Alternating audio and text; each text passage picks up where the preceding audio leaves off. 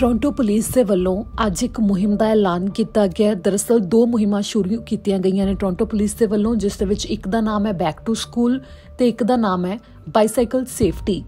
ਦਰਅਸਲ ਇਹ ਜੋ ਕੈਂਪੇਨ ਚਲਾਏ ਗਏ ਨੇ, ਉਹਨਾਂ ਨੂੰ ਸਤੰਬਰ 8 ਯਾਨੀ ਕਿ ਮੰਗਲਵਾਰ ਦੇ ਦਿਨ ਲਾਂਚ ਕੀਤਾ ਗਿਆ ਤੇ ਇਹ ਸਤੰਬਰ 30 2020 ਤੱਕ ਇਸੇ ਤਰ੍ਹਾਂ ਜਾਰੀ ਰਹਿਣ ਵਾਲੇ ਨੇ। ਦਰਅਸਲ ਸਤੰਬਰ ਮਹੀਨੇ ਮੁੜ ਤੋਂ ਸਕੂਲ ਸ਼ੁਰੂ ਹੁੰਦੇ ਨੇ ਤੇ ਇਸੇ ਨੂੰ ਸਮਰਪਿਤ ਇਹ ਕੈਂਪੇਨ ਚਲਾਏ ਗਏ ਨੇ, ਜਿਸ ਦੇ ਵਿੱਚ ਬੱਚਿਆਂ ਦੀ ਸੁਰੱਖਿਆ ਨੂੰ ਲੈ ਕੇ ਸੜਕਾਂ ਦੀ ਸੁਰੱਖਿਅਤ ਤੌਰ ਤੇ ਵਰਤੋਂ ਦੇ ਵਾਸਤੇ ਟੋਰਾਂਟੋ ਵਾਸੀਆਂ ਨੂੰ ਉਤਸ਼ਾਹਿਤ ਕੀਤਾ ਜਾਵੇਗਾ, ਜਿਸ ਦੇ ਵਿੱਚ ਇਹ ਵੀ ਦੱਸਿਆ ਜਾਵੇਗਾ ਕਿ ਜਦੋਂ ਬੱਚੇ ਸਾਈਕਲ ਚਲਾਉਂਦੇ ਨੇ ਤਾਂ ਉਹਨਾਂ ਦੇ ਲਈ ਹੈਲਮਟ ਪਾਉਣਾ ਕਿੰਨਾ ਜ਼ਰੂਰੀ ਹੈ।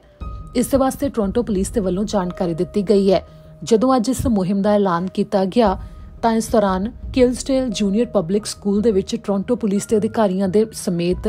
ਟੋਰਾਂਟੋ ਤੋਂ ਮੇਅਰ ਤੇ ਨਾਲ ਹੋਰ ਜੋ ਸਹਿਯੋਗੀ ਨੇ ਇਸ ਕੈਂਪੇਨ ਦੇ ਵਿੱਚ ਨਾਲ ਕੰਮ ਕਰ ਰਹੇ ਨੇ। ਉਹਨਾਂ ਸਭ ਦੇ ਵੱਲੋਂ ਮਿਲ ਕੇ ਐਲਾਨ ਇਸ ਦੇ ਉੱਤੇ ਕੀਤਾ ਗਿਆ। ਇਸ ਦੇ ਵਿੱਚ ਆਮ ਲੋਕਾਂ ਨੂੰ ਜਾਗਰੂਕ ਕੀਤਾ ਜਾ ਰਿਹਾ ਹੈ ਕਿ ਜਦੋਂ ਬੱਚੇ ਸਕੂਲ ਜਾਂਦੇ ਨੇ, ਤਾਂ ਉਸ ਦੌਰਾਨ ਉਹ ਸਾਈਕਲ ਦੀ ਵੀ ਵਰਤੋਂ ਕਰਦੇ ਨੇ ਜਾਂ ਫਿਰ ਜਦੋਂ ਤੁਰ ਕੇ ਵੀ ਬੱਚੇ ਜਾ ਰਹੇ ਨੇ, ਤਾਂ ਸੜਕਾਂ ਦੇ ਉੱਤੇ ਸੁਰੱਖਿਆ ਦਾ ਕਿਸ ਤਰ੍ਹਾਂ ਧਿਆਨ ਰੱਖਿਆ ਜਾਵੇ ਤੇ ਨਾਲ ਹੀ ਜਦੋਂ ਵੀ ਸੜਕਾਂ ਦੀ ਵਰਤੋਂ ਕਰਨੀ ਹੈ ਤਾਂ ਆਪਣੇ ਨਾਲ-ਨਾਲ ਸੜਕਾਂ ਦੀ ਵਰਤੋਂ ਕਰ ਰਹੇ ਹੋਰ ਵਿਅਕਤੀਆਂ ਦੇ ਵੱਲ ਵੀ ਧਿਆਨ ਦਿੱਤਾ ਜਾਵੇ ਤੇ ਚੰਗੀ ਤਰ੍ਹਾਂ ਹਦਾਇਤਾਂ ਦੀ ਪਾਲਣਾ ਕਰਦੇ ਹੋਏ ਸੜਕ ਦੇ ਉੱਤੇ ਜਾਇਆ ਜਾਵੇ। ਇਸ ਦੌਰਾਨ ਜਿਹੜੀ ਇਹ ਮੁਹਿੰਮ ਹੈ, ਉਸ ਨਾਲ ਟੋਰਾਂਟੋ ਦੀ vision zero road safety plan ਹੈ ਜੋ, ਉਹ ਵੀ ਜੁੜਿਆ ਹੋਇਆ ਹੈ। ਜਿਸ ਦੇ ਵਿੱਚ ਟੀਚਾ ਇਹ ਹੈ ਕਿ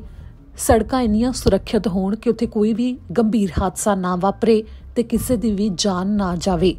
ਇੱਥੇ ਜ਼ਿਕਰਯੋਗ ਹੈ ਕਿ ਟੋਰਾਂਟੋ ਦੇ ਵਿੱਚ ਸਾਲ 2020 ਦੇ ਦੌਰਾਨ ਹੀ ਜਦੋਂ ਤੋਂ ਇਹ ਸਾਲ ਸ਼ੁਰੂ ਹੋਇਆ, ਉਦੋਂ ਤੋਂ ਹੁਣ ਤੱਕ ਦੀ ਤਰੀਕ ਤੱਕ 24000 ਟਿਕਟਸ ਲੋਕਾਂ ਨੂੰ ਦਿੱਤੀਆਂ ਜਾ ਚੁੱਕੀਆਂ ਨੇ, ਜਿਨ੍ਹਾਂ ਦੇ ਵੱਲੋਂ ਡਰਾਈਵਿੰਗ ਨਾਲ ਸੰਬੰਧਿਤ ਕਾਨੂੰਨ ਦੀ ਉਲੰਘਣਾ ਕੀਤੀ ਗਈ। ਤੇ ਇਸ ਦੇ ਨਾਲ ਹੀ ਟੋਰਾਂਟੋ ਵਿੱਚ ਸਾਲ 2020 ਵਿੱਚ ਜੋ ਜਾਨਲੇਵਾ ਹਾਦਸੇ ਵਾਪਰੇ ਨੇ, ਸੜਕਾਂ ਉੱਤੇ ਉਸ ਦੀ ਵੀ ਜਾਣਕਾਰੀ ਦਿੱਤੀ ਗਈ ਹੈ, ਜਿਸ ਦੇ ਵਿੱਚ ਦੱਸਿਆ ਗਿਆ ਹੈ ਕਿ ਸਾਲ 2019 ਵਿੱਚ ਜਨਵਰੀ ਤੋਂ ਲੈ ਕੇ ਸਤੰਬਰ 4 ਤੱਕ 56 ਗੰਭੀਰ ਮਾਮਲੇ ਸਾਹਮਣੇ ਆਏ ਸਨ, ਪਰ ਸਾਲ 2020 ਵਿੱਚ ਜਨਵਰੀ ਤੋਂ ਲੈ ਕੇ ਸਤੰਬਰ 4 ਤੱਕ ਮਹਿਜ਼ 28 ਮਾਮਲੇ ਹੀ ਸਾਹਮਣੇ ਆਏ ਨੇ, ਯਾਨੀ ਕਿ ਪਹਿਲਾਂ ਨਾਲੋਂ ਸੜਕਾਂ ਤੇ ਵਾਪਰਨ ਵਾਲੇ ਗੰਭੀਰ ਹਾਦਸਿਆਂ ਦੇ ਵਿੱਚ ਟੋਰਾਂਟੋ ਦੇ ਅੰਦਰ ਕਮੀ ਆਈ ਹੈ।